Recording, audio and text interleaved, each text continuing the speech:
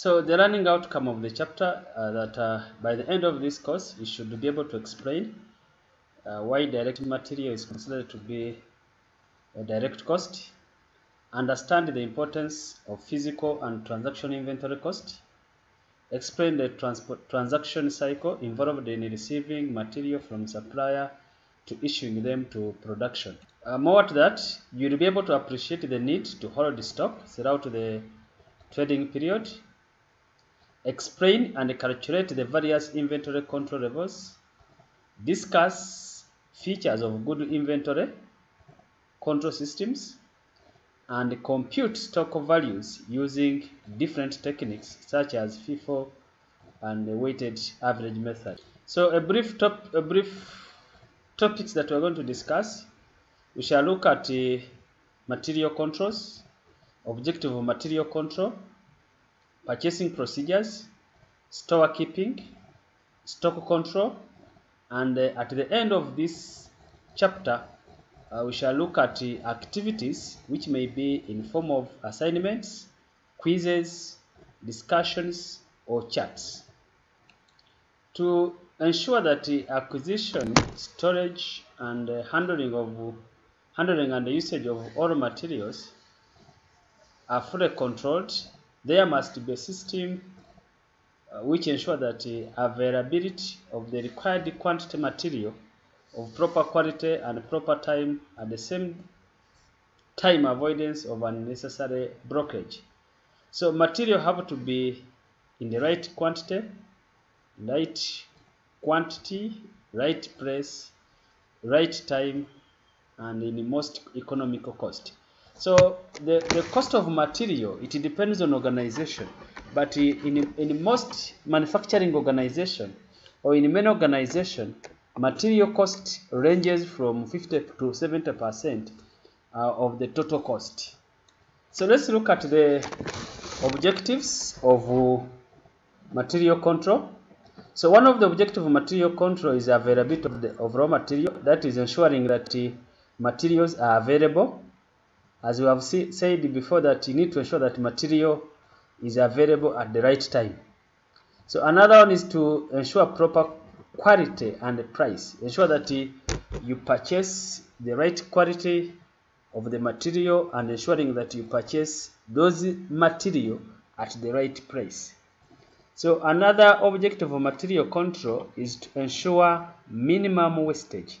That if you are producing, ensure that materials are stored and you minimize the loss of material or you minimize damage uh, of, of the items. Because if as you are increasing or as the wastage increases it means you are increasing uh, a cost of the raw material. So another reason for material control is to ensure no overstocking if you go to finance overstocking it means you are making or some of your resources redundant so by having material control it helps to ensure that the materials are kept in store and uh, you minimize uh, a lot of material that are not used in the organization. So another one is to minimize loss during process. So that one is almost similar to the point number three, minimizing the wastage. So if you are you are producing, uh, you if you have purchased material of the good quality, then it's going to help to ensure that uh, you minimize wastage uh, during the production process. Let's look, let's look at the aspects of material control. So the aspects of material control, we have the purchasing procedures, that is the way you purchase, uh, the process you, you, you follow into purchasing. We have receipt and inspection of the material, that is when you, you purchase the material, then uh, during the process of receiving the material, then you need to carry out inspection. Then you have store keeping, ensuring that the goods are stored in your store.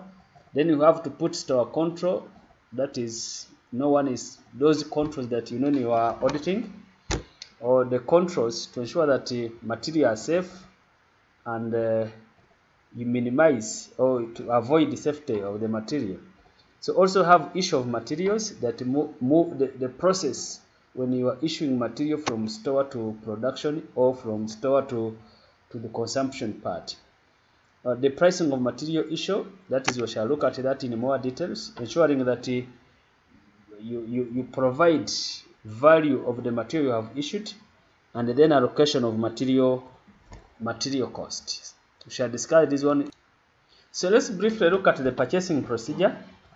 So these are some of the purchasing procedures. Identify the source of supply. So when you are going to purchase, you need to first identify uh, where are you going to purchase the material, who are going to be your suppliers, meaning you are going to provide the information or you are going to advertise looking for the materials and then you identify the suppliers.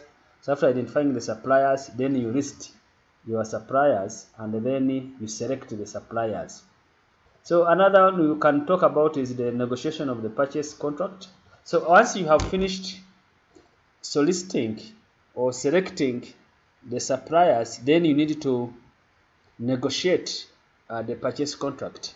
Although in tendering, uh, some of these may be specified in your tender, but after winning the tender, you can still negotiate on the purchase cost or in the purchase contract. What are going to be the terms in the contract? What are going to be the delivery? The, the other terms as may be uh, depending on the organization procedures. So once you have finished the purchase contract, then you prepare a purchase order that is commanding the goods to be purchased. Then afterwards, there is follow-up on the delivery. That is, if a customer or if the supplier has not managed to to bring the goods on time, you can eh, make a follow-up by calling the supplier, asking why has delayed to provide the goods on time. So the last part I can say before we look at this is the receipt and the inspection. As we have said before, you receive the goods. If the supplier has brought the goods, then eh, you receive those goods and then eh, before you the goods are put into store, you need to do an inspection to ensure that the goods are of the right quality, of the right quantity, and other specifications as specified uh, in the contract. So this is a brief example. You can look at it. A brief example of a purchase requisition. It's going to show the batch number, the date, the department section where the goods are needed, and then the quantity, the description. So and then the who prepared the the purchase requisition, and then who approved the purchase requisition. So let's look at a letter of inquiry. A letter of inquiry, it is written by the purchase, it is issued by the purchasing department, and it is sent to various suppliers if after receiving the the purchase requisition. So if if if the the user department provides the requisition for the goods, so the purchasing department can prepare a rate of inquiry uh, which is sent to various suppliers it is similar to a tendering or it means like an advert of the goods that are needed. So the main purpose of this is to find out the price and the quality of the goods. So if you, send the goods to the suppliers or the, the letter of inquiry to the suppliers, the suppliers can specify the goods that they can be able to supply and then the price that they can charge uh, on those goods. We have what we call a quotation. A quotation, those are received from the suppliers. When you send a letter of inquiry, for, for example, if you send a letter of inquiry to Kabuye Sugar asking for sukari, Kabuye Sugar can reply you that we can offer you this, this type of sugar at this price. So the, the, the price they are going to charge are going to charge what to call the, the quotations. So quotation is an offer to supply goods according to the terms and the conditions. So that is what we refer to as the quotations. Let's look at this example of a purchase order, what call a local purchasing order. It is not very different from what we have looked at. It's going to show the address, the date, to who, please supply us the following goods. You list the goods you want to be supplied, the description, the code, the price, and then the value, and then you Someone who has prepared must sign and someone who has authorized uh, must also sign. So when goods are received, then you prepare receipt of goods or what called a goods received note. So still you have the who, the goods were received from this the batch number of the goods, the description, the quantity, the package, the purchase order on which the goods were delivered, the rate, and then the value of the goods. Then you also show who, who has received the goods, who has also inspected those goods. So rejection or return of goods, when the goods are received from the supplier, you may find that uh, some of the goods don't meet the specifications or some of the goods were damaged during that way depending on the contract you have with the supplier. So some goods may be returned uh, to the supplier. Maybe the goods were of inferior quality, that is they don't meet the specification or the goods were different from those which were uh, described. So when the goods are returned to the supplier, then a rejection notice should be issued, what we call uh, a debit note or a credit note may be issued to the supplier showing the goods that were rejected, the value of those goods, and then what should be done. The important document is the invoice. The invoice, it shows the quantity, um, the quantity may not be so much, but it shows the quantity or the description of the goods, the price, and the total value of the goods. So the invoice, mainly, it is about when you are going to pay for the goods.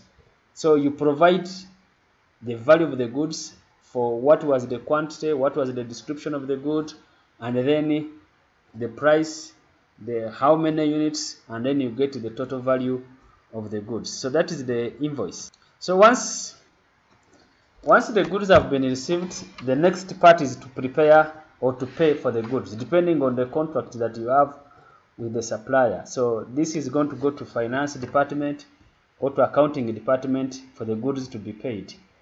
So the, when the goods are going to be paid, of course, they must be related to the to the purchase order. It must be related to the delivery note, and it must be related to the goods received note.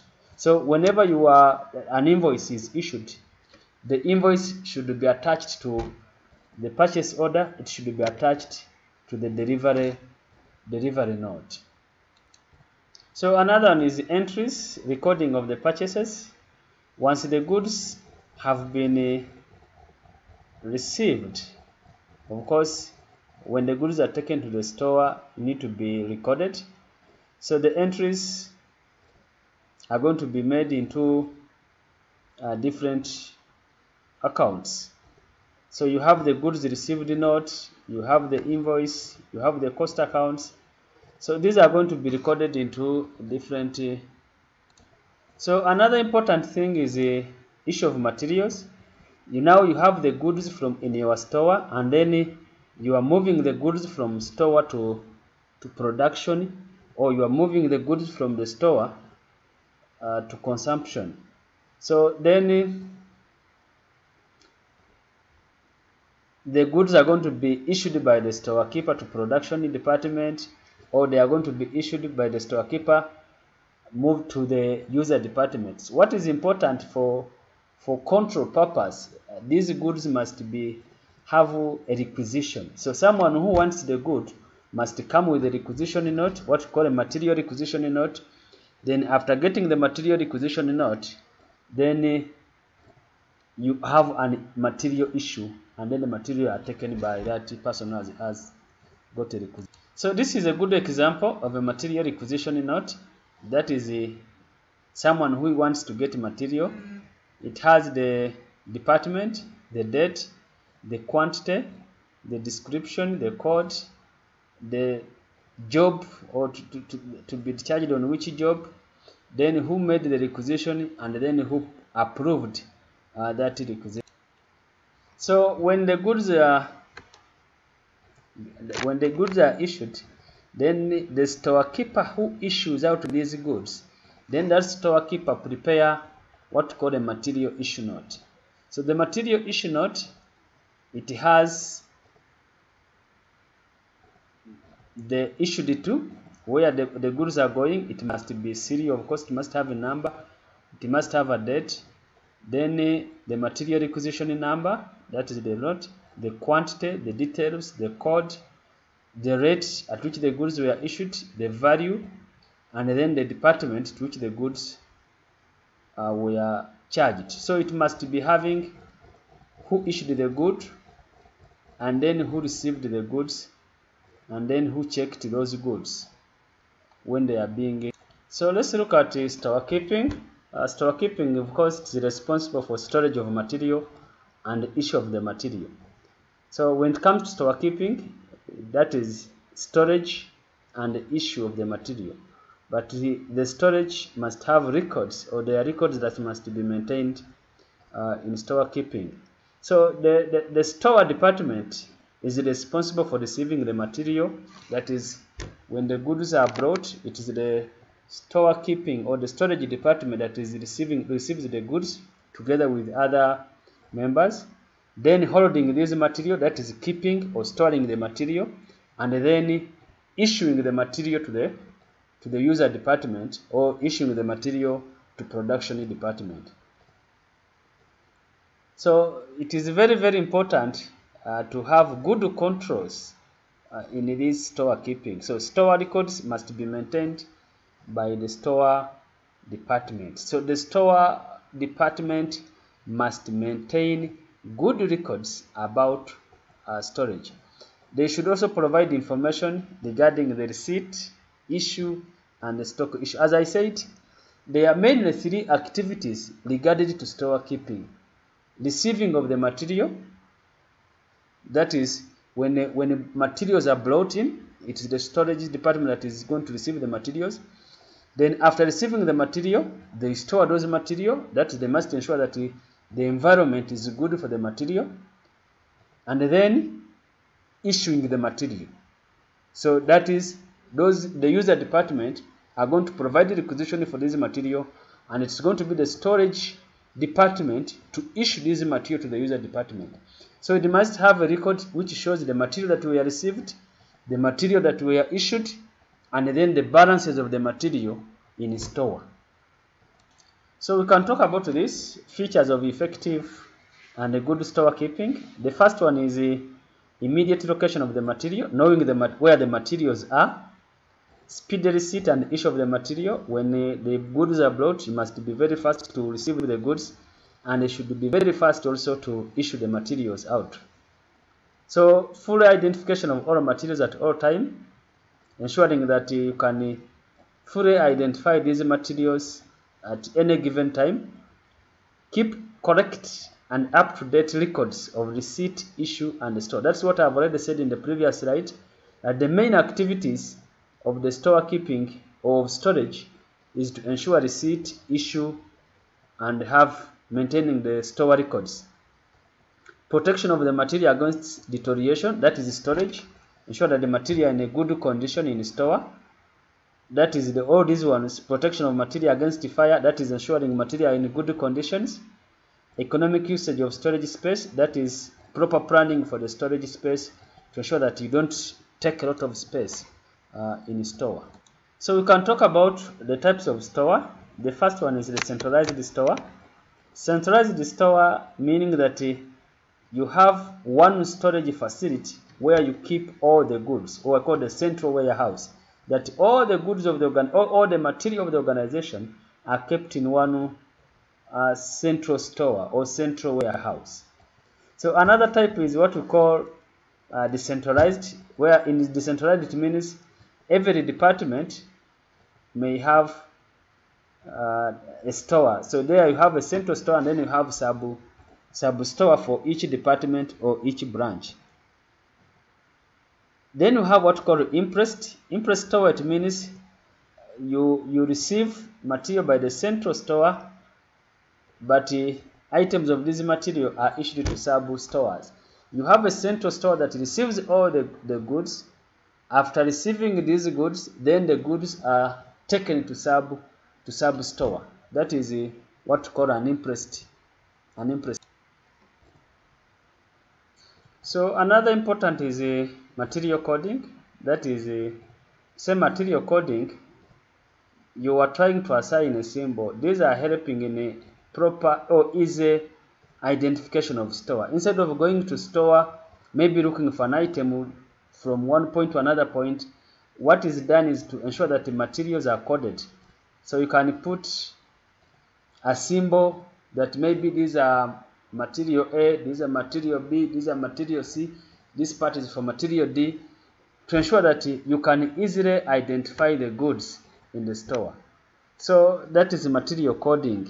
That it's mainly for ensuring that you can easily identify these materials in your in your so we have also principles of coding uh, what are the some of the guidelines when you are coding your materials in store exclusivity that is ensuring that only one code is put on on an item. You cannot have two item a1 a2 a3 a4 in that case you may end up getting although it may be possible sometime but you may end up getting confused. Ensure that each item is coded different from another item to be clear on easy identification of those items. So another point or another uh, principle is certainty certainty used for different types of material should be certain and should be no confusion. So that is uh, ensuring that you are certain that if it is A, material A is water, material B is this, material D, such that you are certain in your numbering of this of these uh, items in your store. So another one is what we call elasticity. Elasticity that is code number should be arranged in such a way that it must be possible to include new items if you need the arises. So when you are looking at it, you should not make it fixed. You should ensure that uh, the code number they allow you to add another another item uh, in your store. Then we have what called brevity. That is code should be as brief as possible. Don't make something that is going to confuse you when you are identifying the items. Then you look at uh, memorization. It should this code should be easy to memorize. If you say A, you should know where A is. If it is B, you should know where B is. Or if D, you should know where D is. Then you should have uniformity. That code should be equal length and the same structure. So don't make one code A, B, C, D, another one AD, another one AB. So you should ensure that if it is A, it is A. If it is AB, so AB, CD, DE, or there's something that can be easily for you uh, to identify. So let's look at uh, the store records. Remember we said that uh, as a storekeeper you need to maintain uh, store records.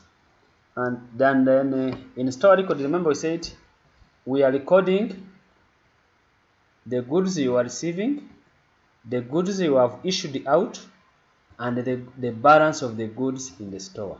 So that is the main issue in, in our store records. So ensuring uh, how many goods you have received, how many goods you have issued out, and then what is the balance of the goods in store. You may also need another record where you record the goods that are damaged or goods that have become obsolete uh, in your store. So these store records, sometimes we call them uh, store ledgers or we call them uh, bin cards. So this is an example of a store, a store. It has the store ledger account, the description, the stock level, the minimum stock level, maximum stock level, the order level, the order quantity. Then you have the date, how many, the receipt of the goods. This part is the receipt of the goods. Looking at the goods received note, the quantity you have received, the price of the good you have received, and the value of the goods. So here we have the issue, and in the issue you have the material requisition number that you have received. Then you have the quantity of the goods you have received, you have issued out, then you have the price of the goods that you have issued, and then the value of the goods. So at this end, you have the balance that remain in store, where you have the units that are in store and the value of those goods uh, in your. So this is an example of a bin card. The difference in a bin card that it it provides a remark uh, but it's almost similar to to what we have looked at in in in store ledger. Still you have the maximum, the material description, the maximum stock level, minimum stock level, reorder level, the bin card number, the code number, and then the reorder level. So here is the date. These are the good, the receipt. Receipt, you have the goods received note, you have the quantity, uh, you have the material, the quantity, and the balance. So another difference between a store ledger and a bin card, this, the bin card does not show the value of the stock. It only shows the units of the stock in store. Whereas a stock ledger, it shows the quantity, the price, and the value of the goods in store. So that's the main difference between a store ledger and a bin card. So stock taking, that is uh, physically calculating the amount of stock in, in store. That's what we call a stock taking. So when it comes to stock taking, you are calculating how many units of stock do I still have in my store. So at the end of the, the period, you need to know how many units do you need to have to store.